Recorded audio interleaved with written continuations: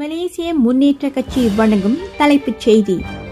இந்தியர்களும் சீனர்களும் ஆயிரத்து தொள்ளாயிரத்து இருபதாம் ஆண்டுகளில்தான் இங்கு அழைத்து வரப்பட்டனரா? தான் ஸ்ரீ ரைஸுக்கு செனட்டர் பொன் வேதமூர்த்தி அறிவுறுத்தல். இந்தியர்களும் சீனர்களும் ஆயிரத்து தொள்ளாயிரத்து இருபதாம் ஆண்டுகளில்தான் இங்கு அழைத்து வரப்பட்டனரா? உண்மையாகவா?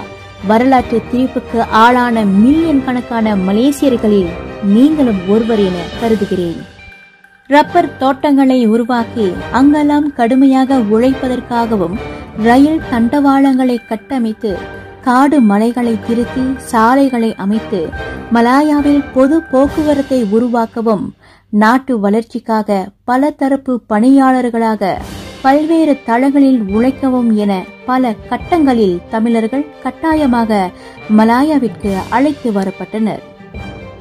ஆயிரத்து தொள்ளாயிரத்து இருபதாம் ஆண்டு என குறிப்பிட்ட ராய்ஸ் அதற்கு முன் மலேரியா நோயாலும் பாம்பு கடியாலும் கொடிய விலங்குகளின் தாக்குதலாலும் ஏராளமான இந்தியர்கள் மடிந்ததன் தொடர்பில் நடைபெற்ற சிறப்பு விசாரணை பற்றி குறிப்பிட மறந்துவிட்டார்.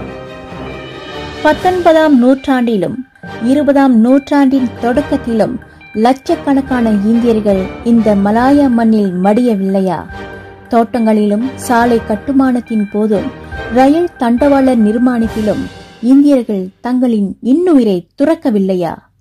இந்தியர்களை விட வேறு எந்த இனமாவது இந்த நாட்டின் உருவாக்கத்திற்கும் வளர்ச்சிக்கும் தியாகம் புரிந்திருக்கிறார்களா என்று உங்களால் கற்பனை செய்து கூட பார்க்க முடியுமா?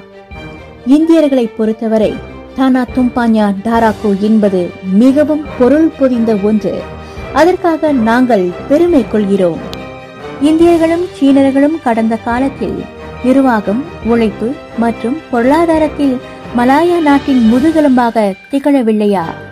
ஆயிரத்து தொள்ளாயிரத்து ஐம்பத்தாறாம் ஆண்டில் உள்நாட்டு மொத்த உற்பத்தி குறித்த விவரத்தை அறிந்து கொண்டால் அப்போது ஒரு உண்மை தெரிய வரும் இந்தியர்களும் சீனர்களும் மிர்டேகாவின் பெயரால் திருப்பி அனுப்பப்பட்டிருந்தால் நாட்டின் பொருளாதாரமே சீர்குலைந்து போயிருக்கும்.